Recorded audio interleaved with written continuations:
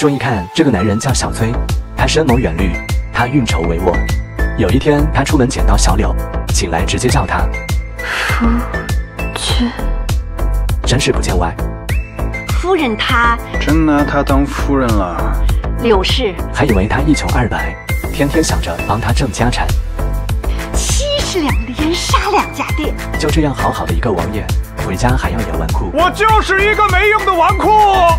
没想到这小门户有小门户的好处，小柳把他的衣食住行照顾的是非常全面，蟹黄拌饭更是一绝。你还知道哪个是你真的家吗？既如此，想崔想，那就顺手也护一护他吧，多给他一些银钱，买随便买。今后还是叫他夫人。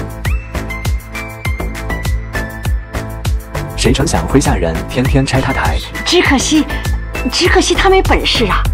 上人不？连损友都竟然说有病，难以启齿的病。不行，谁不行？我倒要让你看看我行不行。我打算把一切都告诉你。